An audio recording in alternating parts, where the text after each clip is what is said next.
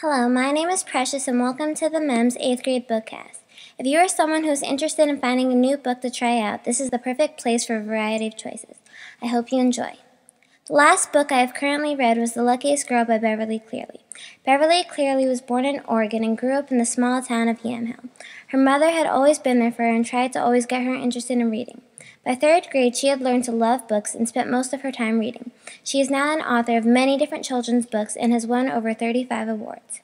This book is about a 16 year old girl named Shelley who ends up moving to California for her junior year to try to take a break from her humdrum life back at home. Shelley seems like any other teenage girl, but to her, she needs much more excitement in her life. She's tired of her mom treating her as if she were still a little girl and her boyfriend Jack just being considered perfect.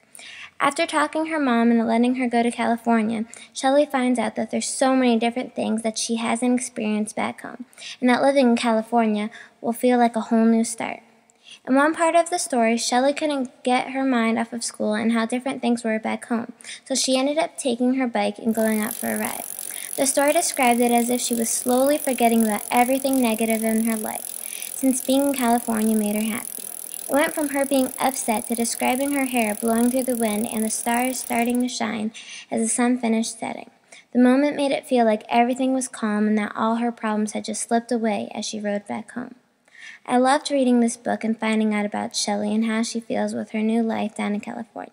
But if you're someone who is interested in horror stories or more action filled dramas, I wouldn't recommend it. Overall, I would give this book